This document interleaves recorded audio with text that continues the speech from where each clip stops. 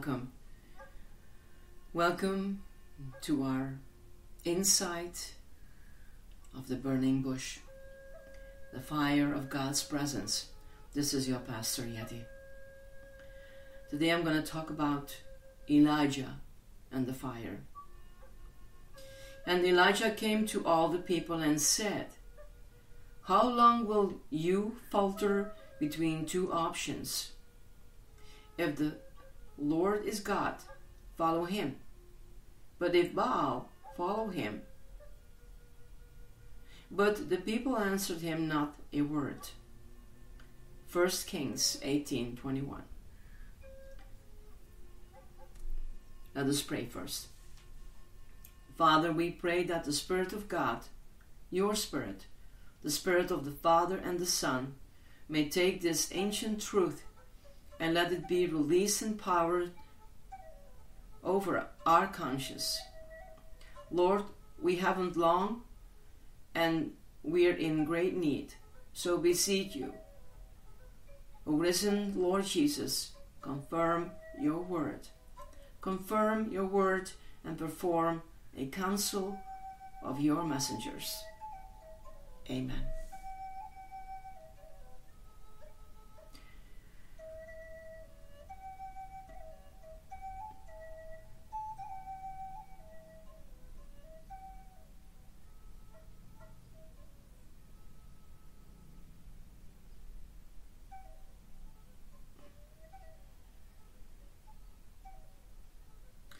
This chapter covers a low period in Israel's history when the nation should have been committed to the highest righteousness in personal living and conduct and the purest worship of the Most High God.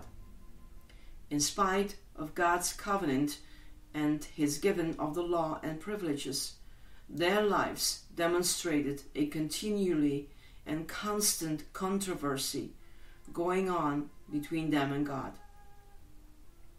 The chief blame belonged to someone I call the Sidonian vampire Jezebel. Jezebel was the wife of Ahab, the king of Israel. He wasn't much of a king, really, but he killed the place for a time. I mean, he filled the place for the time. Excuse me. His wife was not Jewish. She was the daughter of the king of Sidon, and thus she was a Sidonian and a Baalite, someone who worshipped Baal. Ahab was a Jew and was supposed to be a worshipper of Jehovah, the great God, the I am that I am. Even though the Baalites were set against the Most High God, Ahab apparently wanted a wife from the royal family of Sidon. So he picked this good looking Jezebel and married her. The worship of Baal involved cruel and immoral rituals, and Jezebel was the evangelist of the hour. Not for Jehovah or decency and righteousness, but for Baal and evil. All this led to a moral dilemma for Israel. Here was a royal family, a Hebrew with his wife, a Sidonian. The king was committed, at least nominally, to the worship of Jehovah, and his queen was committed positively to the worship of Baal. This reminds me of a passage of scripture that is very mysterious. There's much to say about it. That I must say it may lead to being accused of being a mystic. The verse John 1 9 says, Christ was the true light, giving light to every man that comes into the world. So even the man or woman who has never heard of the Bible, God, or the gospel, nor anything having to do with revealed religion, still has more light than we imagine. For every person has been, in some measure, illuminated by the true light, so that they know something of what is right and wrong. If you're worrying about crooked politicians and movie actresses with five husbands, change it around and thank God for the people, for the good people you know. Sometimes when you're feeling real mean, when you just feel emotional as if you were not a Christian at all, your faith is holding and you really do know who you are. Your anchor holds in the storms of life. But if there are times when nothing seems right, get down on your knees and then on a piece of paper write down the names of the good people you know. Be grateful to God for the ability to appreciate them. Israel should have known right and wrong by the deep wisdom that lights up every man. God's people also had access to divine revelation, the Holy Scriptures, which nobody else had even though they should have known what was right, who to worship, how they should live. And Jezebel set the standard for morality and worship. However, she chose to dress and live. Others followed her ways. They also worshipped the way she worshipped because the people were too weak and cowardly to obey God and they found it easier to follow what was in vogue. That's always the easiest thing. If you're going to be a Christian, you're going to have to learn to stand against what's in vogue. You're going to have to learn to listen to the voice of God and heed the sound of an inaudible drum. There are people marching all together in another parade and a world marching to the world's music is going the wrong direction. We're going to have to decide whether this religious business is of God, whether God's in this, whether the Bible is real, whether hell is hell and heaven is heaven, or whether we can just follow what's in vogue and be like everybody else. You're going to have to make up your mind as I said, Israel was in a dilemma, and, of course, nobody's at rest when they're in that condition. Because deep down, people know when they are following a band or parade that isn't going to heaven. They know they're being cheated, robbed of something very precious, and it worries them. A man knows he's dishonored his soul, and he's deeply ashamed until he covers it up with amusements. He knows he's violating the holy laws of God, and it makes him afraid, but of course, the effect will depend upon the degree of light. When we worship Baal or Jehovah, if Baal, 1 Kings 18:21 applies, how long will you falter between two opinions? I say that the religion of our day is the religion of Baal. It is a religion that will let you get away with anything. If you just talk about love and the unity of mankind and the brotherhood of the world, if you just talk nice and sound pious, you can do just about anything. The sky's the limit. And there's no morality, no righteousness, no guidelines required. Just live any way you want, provided that in the end you say, well, we're all going the same way. We're going we're just going by different roads. It sounds so very spiritual, but it's just the way the Baalite lady Jezebel talked. She told them, Now, you Jews, don't you know that Baal has something to be said in his favor too? Of course. They have six orgies and rites of inequity to worship him. But that's all right. That's our way of looking at things. What does Baal offer? What does the chief shallow religious world offer? They offer a few things. They offer the customary fun and conformity. If you do it, if you conform and go along with the crowd, they had to have it. But Jehovah, He called you to good, hard way. The good, hard way, with its present cost and its eternal compensation. What has Baal to offer? What has the world to offer? Will we surrender to the world? What has it really to offer it? It would lead you to think it has a great deal to offer, but how utterly helpless it is when tragedy strikes. A trimmed down gospel never saved a soul. A trimmed down, deluded, edited religion is not the religion that Christ died to establish. And the heaven over yonder is not filled full of weaklings who had to have somebody to go along and help them over the rough spots. It is full of people, soldiers, and the martyr, and the dreamer, and the prophet, and the rule followers.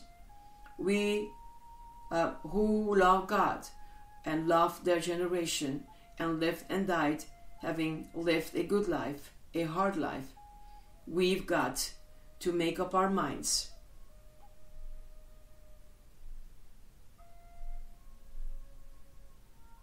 Are we going to go the way the world goes? Jezebel will see to that. What are we going to do about it? Baal has a lot to offer. We might as well admit it. If hard, the preachers talk about how burdened down men are with sin, picturing them with great weights on their backs. And preachers say there's no pleasure in sin. Of course, sin has pleasures but you've got to break with it and follow Jehovah. The worse the country is, the worse the state of society, the harder it is to break, and the more it's going to cost you to break from sin's pleasure. Make up your mind. Don't be in the middle because you're neither or not hot, cold or hot. God will spew you out of his mouth. The only place in the Bible where God gets sick is when he faces up to people who can't make up their mind about whether to serve God or Baal. I believe that God has more respect for Baalites down on their knees before a sex altar than he does for the fellow cod in the middle who is afraid to worship God, trembling in the middle between right and wrong. Does that describe you? God says it makes him sick and he spews you out of his mouth. If Jehovah is God and Jesus Christ did indeed say, Come and take up your cross and follow me, there will be a judgment. God is to judge every person's heart according to their thoughts and according to their deeds. With Baal, you've had your fun, but the day is coming to take your medicine. Every time you're led astray, remember the person that leads you astray really leaves you in the lure, in the lurch. When Judas Iscariot betrayed Jesus, Judas was deserted by the people to whom he had sold Christ. With a spasm of conscience, Judas went back to the priest and said, Here, take the money. But they turned coldly away and said, What is that to us? It's always like that. People will lead you astray and then leave you in the end. But thank God for the one named Jesus, who leads us on the right path and never leaves us. The Baalites had their fun, but they couldn't be cleansed inside. You're going to die someday, and I trust you want to die with a and I trust you want to die with a clean conscience. How do you do that? The blood of Jesus Christ cleanses you from all sin. So if Baal is your God, serve him. Will he never forgive your sins? Never cleanse you within. Want somebody who can direct you and lead you through that cleansing process? Baal can't do it. Baal can have a big time Saturday night. but he will leave you with a frightful hangover Sunday morning. Baal just can't help you through in the end. If you choose Baal, if you choose anything other than the true God, you go without a counselor and advocate. If you choose Baal, you go without anybody to direct your life. If you choose the world, you go without cleansing and forgiving.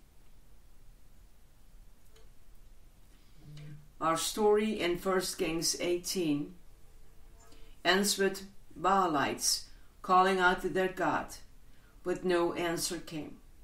They prayed all day and cut themselves all day, but still nothing happened. Then Elijah prayed to the Most High God, and in no time fire came down. God confirmed Elijah's faith and gave witness to his obedience. And that's what God will do for you.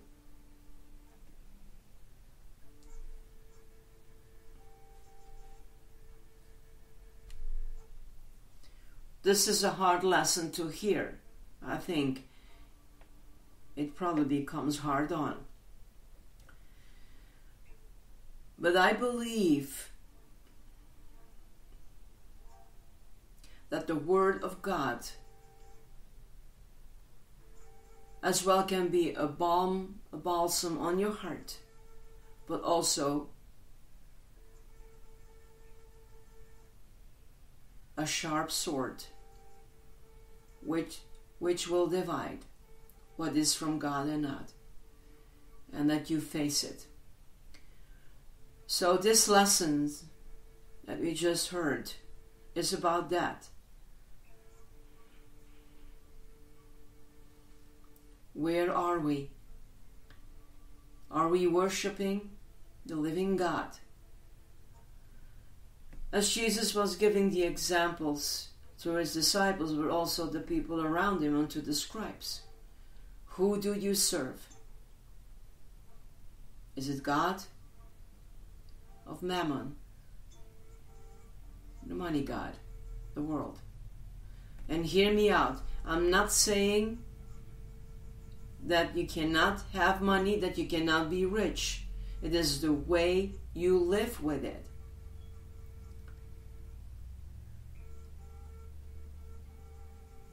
It's about a worship, an adoration of the Most High God in your life. What is your life? How do you live?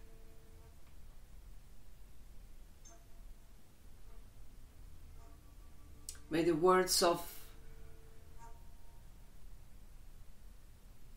the verse of the book of Kings be a lesson to us.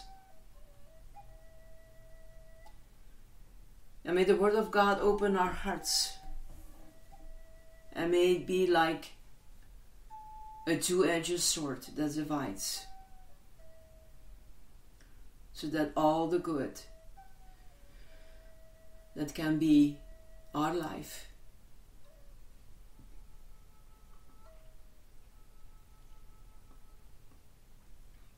Be a living sacrifice in God's hands. God bless. And may God protect you. May God protect you with the guidance of His Holy Spirit where you live and your family May He give you the wisdom and insight if you make decisions, and may it be the right decisions. Hold on to God. It's the best thing that ever can happen to a human's life. For those who are listening and doubting, or not even being a Christian, just curious, the living God is the creator of this world. And he sent his Son. And the Son of God was obedient to God. And he died. But he finished the work for you and for me. So there is an entrance in the kingdom of God. as you open and give your heart and your life to Christ.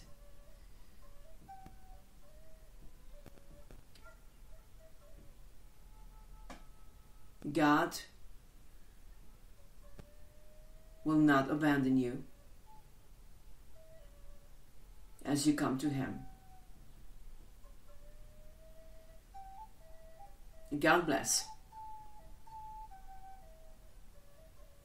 And may the peace of God be with you and in you. Bye.